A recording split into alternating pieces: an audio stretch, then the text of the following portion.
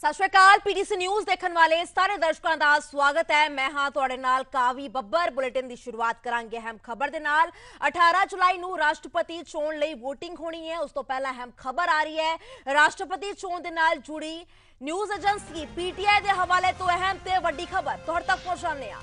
ਭਾਜਪਾ ਨੇ ਰਾਸ਼ਟਰਪਤੀ ਚੋਣ ਦੇ ਲਈ ਸ਼੍ਰੋਮਣੀ ਅਕਾਲੀ ਦਲ ਤੋਂ ਸਮਰਥਨ ਦੀ ਮੰਗ ਕੀਤੀ ਹੈ। ਜੀ ਹਾਂ, ਅਹਿਮ ਖਬਰ ਤੁਹਾਡੇ ਤੱਕ ਪਹੁੰਚਾ ਰਹੇ ਹਾਂ। ਭਾਜਪਾ ਦੇ ਵੱਲੋਂ ਰਾਸ਼ਟਰਪਤੀ ਚੋਣ ਦੇ ਲਈ ਸ਼੍ਰੋਮਣੀ ਅਕਾਲੀ ਦਲ ਤੋਂ ਸਮਰਥਨ ਦੀ ਮੰਗ ਕੀਤੀ ਗਈ ਹੈ। ਸ਼੍ਰੋਮਣੀ ਅਕਾਲੀ ਦਲ ਜਿਸ ਨੇ ਪਹਿਲਾਂ ਐਨਡੀਏ ਦੇ ਨਾਲ ਆਪਣਾ ਨਾਤਾ ਤੋੜਿਆ, ਤਾਂ ਅੱਜ ਅਹਿਮ ਖਬਰ ਜੋ ਨਿਕਲ ਕੇ ਸਾਹਮਣੇ ਆਈ ਪੀਟੀਆਈ ਦੇ ਹਵਾਲੇ ਤੋਂ, ਭਾਜਪਾ ਨੇ ਰਾਸ਼ਟਰਪਤੀ ਚੋਣ ਲਈ ਸ਼੍ਰੋਮਣੀ ਅਕਾਲੀ ਦਲ ਤੋਂ ਸਮਰਥਨ ਦਾ ਮੰਗ ਕੀਤੀ ਹੈ।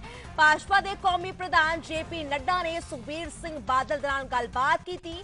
ਐਨਡੀਏ ਦੇ ਰਾਸ਼ਟਰਪਤੀ ਉਮੀਦਵਾਰ ਦ੍ਰੋਪਦੀ ਮੁਰਮੂ ਲਈ ਸਮਰਥਨ ਦੀ, ਸਮਰਥਨ ਮੰਗਿਆ ਗਿਆ।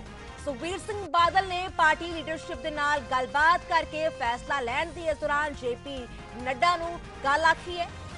18 ਜੁਲਾਈ ਨੂੰ ਰਾਸ਼ਟਰਪਤੀ ਚੋਣ ਲਈ VOTING ਹੋਣੀ ਹੈ। ਉਸ ਤੋਂ ਪਹਿਲਾਂ ਪਾਰਟੀਆਂ ਲੱਗੀਆਂ ਹੋਈਆਂ ਨੇ ਆਪਣੇ ਹੱਕ ਦੇ ਵਿੱਚ। ਸਮਰਥਨ ਲੈਣ ਦੇ ਲਈ ਤੇ ਇਸੇ ਹੀ ਖਬਰ ਦੇ ਨਾਲ ਸੰਬੰਧਿਤ ਹੈ। ਐਸੇ ਹੀ ਮੁੱਦੇ ਨਾਲ ਸੰਬੰਧਿਤ ਹੈ ਅਹਿਮ ਖਬਰ ਜੋ ਇਹ ਹੈ, ਰਾਸ਼ਟਰਪਤੀ ਚੋਣਾਂ ਦੇ ਨਾਲ ਜੁੜੀ ਨਿਊਜ਼ ਏਜੰਸੀ ਪੀਟੀਆਈ ਦੇ ਹਵਾਲੇ ਤੋਂ ਇਹ ਖਬਰ ਆਈ ਹੈ ਕਿ ਭਾਜਪਾ ਨੇ ਰਾਸ਼ਟਰਪਤੀ ਚੋਣ ਦੇ ਲਈ ਅੱਜ ਸ਼੍ਰੋਮਣੀ ਅਕਾਲੀ ਦਲ ਤੋਂ ਸਮਰਥਨ ਦੀ ਮੰਗ ਕੀਤੀ ਹੈ। ਖਾਸ ਤੌਰ ਤੇ ਭਾਜਪਾ ਦੇ ਕੌਮੀ ਪ੍ਰਧਾਨ ਜੇਪੀ ਨੱਡਾ ਦੇ ਵੱਲੋਂ ਸ਼੍ਰੋਮਣੀ ਅਕਾਲੀ ਦਲ ਪ੍ਰਧਾਨ ਸੁਖਬੀਰ ਸਿੰਘ ਬਾਦਲ ਨਾਲ ਮੁਲਾਕਾਤ ਕੀਤੀ ਗਈ ਹੈ, ਗੱਲਬਾਤ ਕੀਤੀ ਗਈ ਹੈ। ਐਨਡੀਏ ਦੇ ਰਾਸ਼ਟਰਪਤੀ ਉਮੀਦਵਾਰ ਦ੍ਰੋਪਦੀ ਮੁਰਮੂ ਦੇ ਲਈ ਸਮਰਥਨ। ਇਸ ਦੌਰਾਨ ਜੇਪੀ ਨੱਡਾ ਨੇ ਮੰਗਿਆ। ਹਾਲਾਂਕਿ ਇਸ ਦੌਰਾਨ ਸੁਖਬੀਰ ਸਿੰਘ ਬਾਦਲ ਦੇ ਵੱਲੋਂ ਕੀ ਜਵਾਬ ਦਿੱਤਾ ਗਿਆ? ਉਹ ਵੀ ਤੁਹਾਨੂੰ ਦੱਸਦੇ ਹਾਂ। ਸੁਖਬੀਰ ਸਿੰਘ ਬਾਦਲ ਨੇ ਕਿਹਾ ਕਿ ਪਾਰਟੀ ਲੀਡਰਸ਼ਿਪ ਦੇ ਨਾਲ ਇਸ ਮੁੱਦੇ ਉੱਤੇ ਗੱਲ ਕਰਾਂਗੇ ਤੇ ਉਸ ਤੋਂ ਬਾਅਦ ਇਹ ਫੈਸਲਾ ਲਿਆ ਜਾਵੇਗਾ। ਇਹ ਸ਼੍ਰੋਮਣੀ ਅਕਾਲੀ ਦਲ ਪ੍ਰਧਾਨ ਸੁਖਬੀਰ ਸਿੰਘ ਬਾਦਲ ਨੇ ਗੱਲ ਆਖੀ ਹੈ। ਤੁਹਾਨੂੰ ਦੱਸ ਦਈਏ ਕਿ ਖੇਤੀ ਕਾਨੂੰਨਾਂ ਦੇ ਮੱਦੇਨਜ਼ਰ ਸ਼੍ਰੋਮਣੀ ਅਕਾਲੀ ਦਲ ਦੇ ਵੱਲੋਂ ਭਾਜਪਾ ਦੇ ਨਾਲ ਜਿਹੜਾ ਆਪਣਾ ਲੰਬਾ ਗੱਠਜੋੜ ਚੱਲ ਰਿਹਾ ਸੀਗਾ, ਉਹ ਤੋੜਿਆ ਤੇ ਪਰ ਅੱਜ ਰਾਸ਼ਟਰਪਤੀ ਚੋਣਾਂ ਬਿਲਕੁਲ ਜਿਹੜੀਆਂ ਨੇੜੇ ਨੇ 18 ਜੁਲਾਈ ਨੂੰ ਰਾਸ਼ਟਰਪਤੀ ਚੋਣ ਲਈ VOTING ਹੋਣੀ ਹੈ, ਤਾਂ ਬਾਅਦ ਵਿੱਚ 24 ਜੁਲਾਈ ਨੂੰ ਇਸ ਦੇ ਨਤੀਜੇ ਵੀ ਆਣੇ ਨੇ, ਤਾਂ ਉਸ ਤੋਂ ਪਹਿਲਾਂ ਪਾਰਟੀਆਂ ਲੱਗੀਆਂ ਹੋਈਆਂ ਨੇ ਆਪਣੇ ਹੱਕ ਦੇ ਵਿੱਚ। ਵੋਟਾਂ ਇਕੱਠੀਆਂ ਕਰਨ ਦੇ ਲਈ ਤਾਂ ਇਸੇ ਸੰਬੰਧਿਤ ਹੀ ਭਾਜਪਾ ਨੇ ਅੱਜ ਰਾਸ਼ਟਰਪਤੀ ਚੋਣ ਲਈ ਸ਼੍ਰੋਮਣੀ ਅਕਾਲੀ ਦਲ ਤੋਂ ਸਮਰਥਨ ਦੀ ਮੰਗ ਵੀ ਕੀਤਾ ਹੈ। ਰੁਕ ਰਮਨ ਬਣੀ ਹੋਈ ਨੇ ਇਸੇ ਖਬਰ ਤੇ। ਰਮਨ, ਵੱਡੀ ਹਲਚਲ ਇੱਥੇ ਸਿਆਸੀ ਗਲਿਆਰੇ ਵਿੱਚ ਦੇਖਣ ਨੂੰ ਮਿਲੀ ਹੈ। ਪਹਿਲਾਂ ਭਾਜਪਾ ਦੇ ਨਾਲ ਨਾਤਾ ਤੋੜਿਆ ਅਕਾਲੀ ਦਲ ਨੇ ਤੇ ਅੱਜ ਭਾਜਪਾ ਨੇ ਪਹਿਲ ਕਦਮੀ ਕੀਤੀ। ਹਾਲਾਂਕਿ ਇਹ ਰਾਸ਼ਟਰਪਤੀ ਚੋਣਾਂ ਦੇ ਮੱਦੇਨਜ਼ਰ ਹੈ, ਪਰ ਇੱਕ ਵੱਡੀ ਹਲਚਲ ਵੀ ਦੇਖਣ ਨੂੰ ਮਿਲੀ ਹੈ।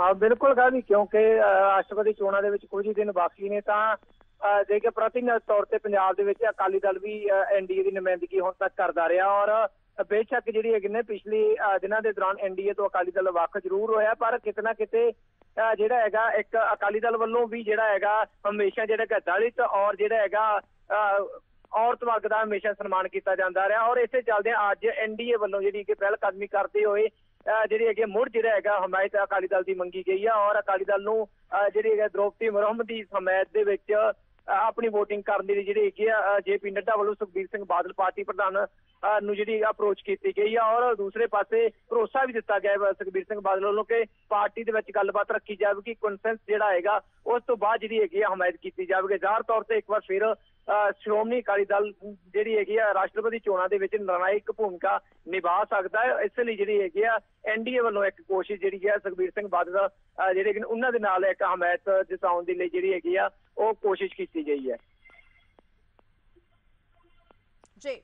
ਫਿਲਹਾਲ ਇਹ ਤੁਹਾਡਾ ਬਹੁਤ ਬਹੁਤ ਸ਼ੁਕਰੀਆ ਰਮਨ ਇਸ तमाम ਜਾਣਕਾਰੀ ਦੇ ਲਈ ਸੋ ਰਮਨ ਵੀ ਇਸ ਪੂਰੇ ਮਾਮਲੇ ਤੇ ਜਾਣਕਾਰੀ ਦੇ ਰਹੇ ਸਨ ਸ਼੍ਰੋਮਣੀ ਅਕਾਲੀ ਦਲ ਜਿਹੜਾ ਹਮੇਸ਼ਾ ਹੀ ਦਲਿਤ ਭਾਈਚਾਰੇ ਦੇ ਨਾਲ ਸੰਬੰਧਿਤ ਹੋਵੇ ਜਾਂ ਔਰਤਾਂ ਦੇ ਵਰਗ ਦੇ ਨਾਲ ਸੰਬੰਧਿਤ ਹੋਵੇ ਹਮੇਸ਼ਾ ਹੀ ਇਹਨਾਂ ਦੀ ਹਮਾਇਤ ਕਰਦਾ ਰਿਹਾ ਹੈ ਤੇ ਜ਼ਰੂਰ ਅੱਜ ਜੇਪੀ ਨੱਡਾ ਨੇ ਗੱਲਬਾਤ ਕੀਤੀ ਹੈ ਸ਼੍ਰੋਮਣੀ ਅਕਾਲੀ ਦਲ ਪ੍ਰਧਾਨ ਸੁਖਬੀਰ ਸਿੰਘ ਬਾਦਲ ਦੇ ਨਾਲ ਇਹਨਾਂ ਰਾਸ਼ਟਰਪਤੀ ਚੋਣਾਂ ਦੇ ਮੱਦੇਨਜ਼ਰ ਪਰ ਇੱਕ ਜਵਾਬ ਇਸ ਢੰਗ ਦੇ ਨਾਲ ਦਿੱਤਾ ਗਿਆ ਹੈ ਕਿ ਇਸ ਪੂਰੇ ਮਾਮਲੇ ਉੱਤੇ ਗੱਲਬਾਤ ਪਾਰਟੀ ਲੀਡਰਸ਼ਿਪ ਦੇ ਨਾਲ ਕੀਤੀ ਜਾਵੇਗੀ ਤਾਂ ਫਿਰ ਉਸ ਤੋਂ ਬਾਅਦ ਹੀ ਜਵਾਬ ਜਿਹੜਾ ਦਿੱਤਾ ਜਾਵੇਗਾ, ਸਮਰਥਨ ਭਾਜਪਾ ਦੇ ਵੱਲੋਂ ਮੰਗਿਆ ਜਾ ਰਿਹਾ ਹੈ। ਸ਼੍ਰੋਮਣੀ ਅਕਾਲੀ ਦਲ ਦਾ।